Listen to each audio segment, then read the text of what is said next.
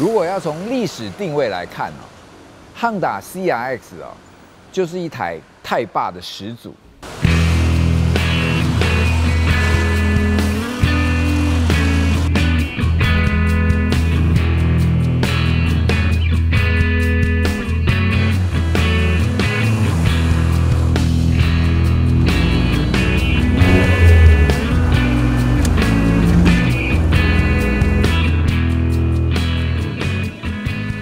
八零年代末、九零年代初期，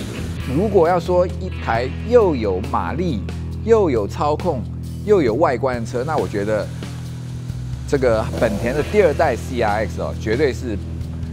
上上之作。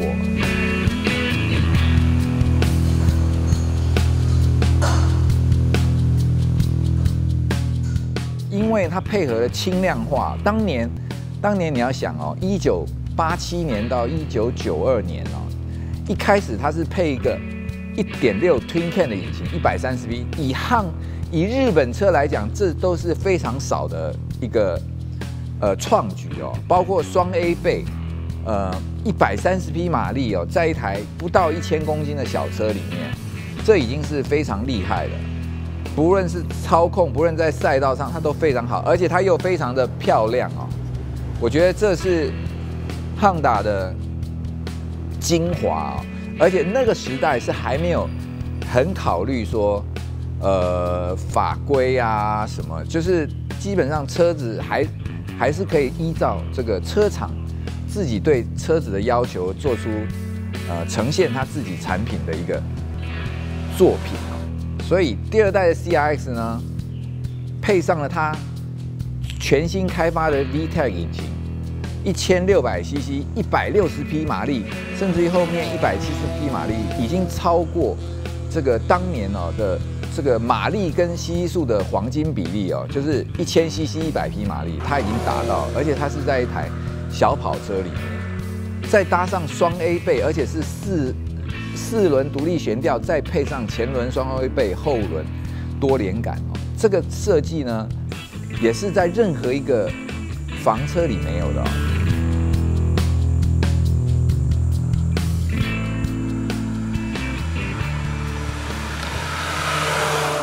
当年呢，因为国情哦，台湾是不允许进口纯日本车系的车子，所以呢，CRX 基本上只有从日本或者美国留学留学生带回来啊，那当年当然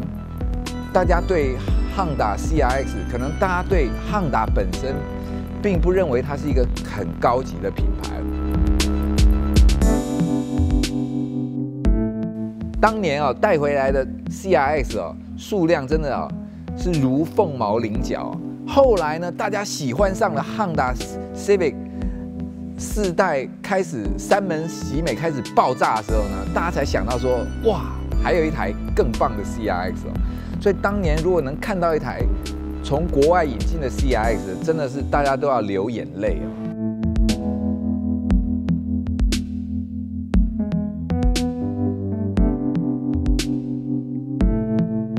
可以看得到，光从车头，其实它是程序了。喜美或者说汉达四代喜美的外观哦，但是呢更精致化，尤其呢懂的人就看得懂哦。它的引擎盖啊中间是凸起来的，这代表什么？这代表它就是最后一代哦，ES 八的 Twin Cam V 钛的引擎盖哦。屋顶的斜线是非常的倾斜哦，非常流线，跟一般的跑车啊所有的这个线条是一样的。那后期呢？它配上了一个全罩式的玻璃哦，再搭配它几乎整个掀背都是玻璃的感觉哦，所以即使是它是一台非常小的跑车，但是它的视野其实是非常宽广。它的 Fastback 掀背设计哦，再加上直切的车尾哦，其实最新 CRZ 的造型哦，就是为了要重现当年 CRX 的风采。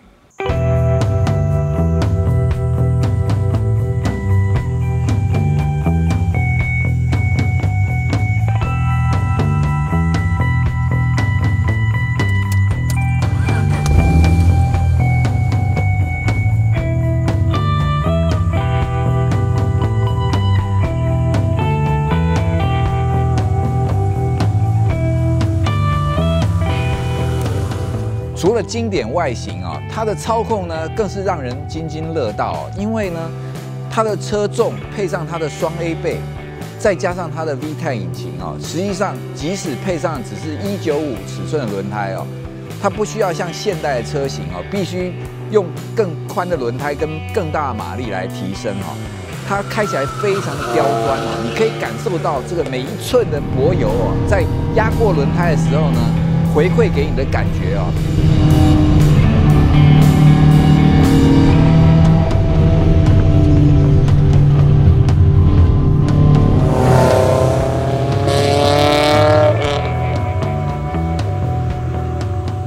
透过你的方向盘，你可以随心所欲哦。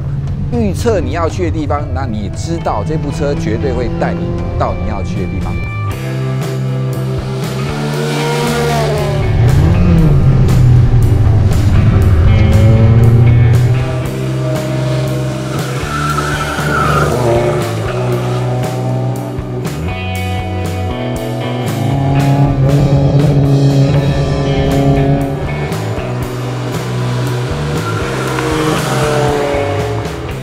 的乐趣哦，就在于它的 VTEC 开的差异哦。在没有开之前呢，你觉得它就是一部快车，但是呢，当 VTEC 全开的时候，忽然间你会觉得整部车就从你的手里脱缰而出。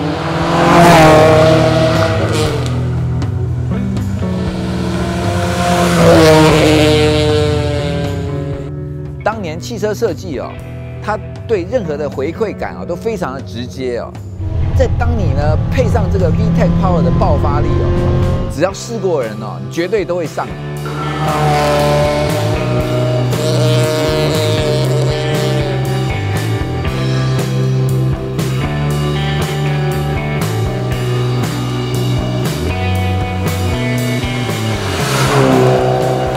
这个地方就是。C R X 给任何一个呃爱车的驾驶者哦，他一个足以回味无穷哦，永远没有办法忘记的一个最经典的感受。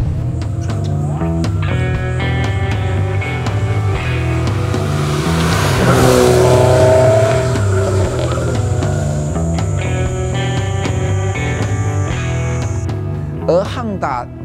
或者当年的车厂呢，他们。提供的就是每一部车都有每个个性哦，非常的鲜明哦，跟现在的车完全不一样。我觉得这就是应该要怎么玩它的最大的意义。